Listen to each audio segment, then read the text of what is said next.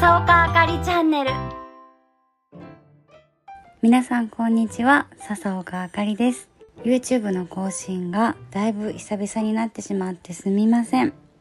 年末にね出産のご報告をしてから、えー、だいぶ時間が経ってしまったんですけどショートの方はねちょこちょこ上げさせてもらっていたんですけど初めての子育ての中ちょっと YouTube のねちゃんとした動画を撮るっていうことがなかなかできなくてですねこんなに時間が経ってしまいました。実はねこれを撮っている今もお腹の上で大の字で息子がすやすやいびきをかいて寝ています。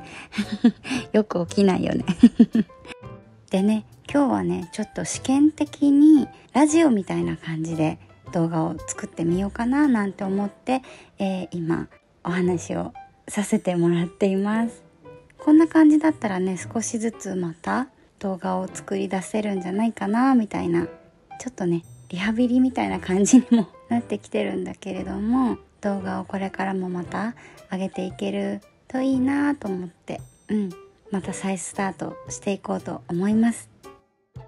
今までの動画では喫音症のことだったり不妊治療のことだったりあとはね日常の楽しい出来事を動画にしてきたんですけどその中でもねコメント返しをねあのちょこちょこやってきたんですね。で、まあ、子供がね12月生まれっていうこともあってなかなかこうアクティブな動画はもうちょっと先になっちゃうかなと思うんですけどこうやってねラジオ形式みたいな形だったら質問返しとか自分の体験談をお話しするとかだったらねできるんじゃないかなと思って。顔を映さなくても動画がある程度成立したら私自身いいかななんてまた動画を再開したいなと思って今おしゃべりをしてます。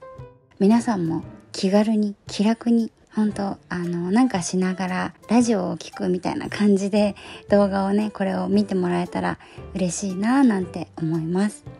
あとはね私の動画を知ってくださった方の中にはね鼻炎の手術花粉症アレルギーの手術の動画をきっかけに知ってくださった方もいるんじゃないかなと思うんですけどそうこちらの方もねやっぱり、まあ、時期的にね今もう花粉がとんでもないことになってるので結構質問をいただくのでそれについてもお返事をしていけたらなっていうことで早速一つコメント返しをしたいと思います。鼻中隔湾曲症の手術の後に鼻は低くなっていませんかということなんですけど私はなっていません。でも鼻中隔湾曲症の手術のリスクの一つとしてアンビと言って鼻が低くなってしまう。鼻がへこんでしまうっていうあのリスクもあるみたいなのでやっぱりお医者さんとそのところよく話し合ってみて決断をしてもらえたらいいのかなと思います。他にもね鼻炎の手術アレルギーの手術鼻中隔湾曲症の手術についてのご質問をいただいてるんですけどちょっともうね私も時間が34年経ったかな？なのでこうタイムリーな記憶っていうのがどうしても思い出せないので一番はお話しできることは全て動画でお話ししているのでそちらをご覧いただけたら嬉しいなと思います。妊娠出産そして愛犬チャポとの別れがあって本当にここ数ヶ月まあ1年近くちょっと目まぐるしくてうん正直ねこんなになんかこう心に負荷がかかる1年ってなかったかなってまあ良くも悪くもねうんちょっと本当に心がうん忙しい1年間だったんですけどそんな中でも皆様からいただくコメントにね本当に本当にね励まされてきました。ありがとうございます。もう私の方がなんか励ましてもらっちゃっててね。うん、でねここ最近もねやっぱり初めての育児で私もね知らない間にねとってもストレスがこう心と体にかかってたみたいで喫音がね、うん、またねちょっとひどくなってきてて一昨日かな夫にねなんかそういえば喫音やばくない？みたいな。最近またちょっとひどいよね？って言ったら「うんまあもういつもだからね」って言ってた。そうあやっぱり気になってたんだと思って。そうそういちいちもう指摘をねする間柄でもないというかまあ指摘をしてたらもうキリがないって感じで夫はもうスルーしてくれてるんですけどやっぱりねうんそうだよねって思った。うん。だってうまく喋れてないもん。うん。すごい喫音がね出ちゃう。私の中ではね。そう。誰と比べてとかではなくて私の中では、うん、結構ね喋りづらいなっていうことが多いですね最近、うん、ただ今こうやってお話ししてたり今日もねマネージャーさんと電話でお話をする機会があったんだけどねその時はね大丈夫だったの。そう。だからね本当になんか不思議だなと思って。うん。なんか私はね動画でも何度もお話ししてるんですけどこう何て言うの？お家にいる時とか家族といる時によく喫音が出るんですよ。でこうスイッチオンの時というかなんだろうなお仕事中とかそういう時はねあんまり出ないんですよ。そうでも私夫がね焼肉屋さんをやっているのでたまにお手伝いをしていてねで電話を取る時があるんですよ。ごああ今言えなかったご予約のって言おうと思った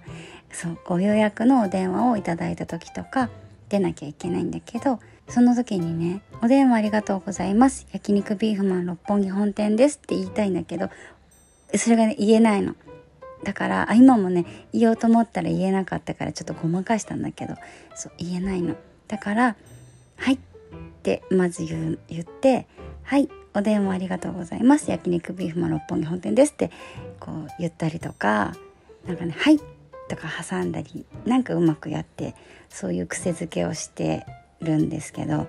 そうなんかね私の場合はね特にこの芸能のお仕事の時は基本的には出ないかな。でも去年の春妊娠が発覚して年末出産でもうねほぼ1年近くねまともに芸能のお仕事をしてないんですよ。9月に朗読劇に出演させていただいたけどそうだからね芸能のお仕事の方でもまたなんかこうぶり返しそうだなーなんてちょっとそれがね懸念なんです最近の。どうしよう。うん。なんか台本とか